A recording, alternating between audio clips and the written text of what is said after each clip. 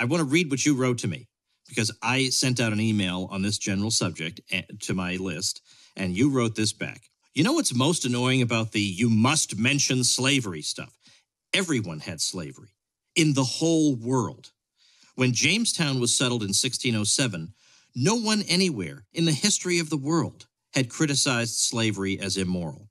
Abraham, Isaac, Jacob, and Moses owned slaves. Aristotle said it was natural. Jesus bucked convention by hanging out with prostitutes and Gentiles, besides having his followers perform various works on the Sabbath, but didn't criticize slavery.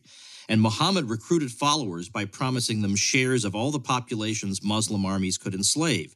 In the 19th century, that included American sailors captured by the Barbary states. What was different about the modern West in this regard? The first arguments about its morality arose in the Anglosphere in the late 17th century. The first anti slavery society was formed in Philadelphia in 1775, and the Royal Navy abolished the Middle Passage in the 19th century. Meanwhile, Saudi Arabia outlawed slavery in 1970. It's still common in Northwest Africa, etc. And by the way, how did Europeans end up with so many African slaves in the 16th and 17th centuries? Hmm. Yet these people never criticize other civilizations for having this once universal institution.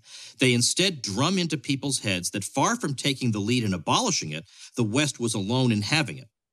Besides that, about 1 million of the 11 million Africans brought through the Middle Passage ended up in what is now the USA, and yet one never hears these people ragging on Brazil, Haiti, Cuba, Mexico, Nicaragua, Venezuela, Colombia, etc. Certainly not in Puerto Rico for having slaves. Polls show that young Americans think it's an American institution.